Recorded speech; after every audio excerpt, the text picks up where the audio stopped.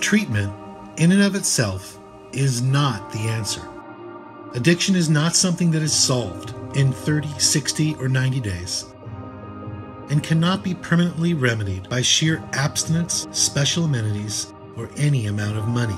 An entirely new way of living must be acquired, and that requires daily, personal work by the individual. We provide an environment that empowers a person afflicted by alcohol or drugs so that they may begin to take ownership of their lives, take action to correct their path, and maintain this new way of living on a daily basis where it really counts outside of rehab. But it starts, works, and continues with you.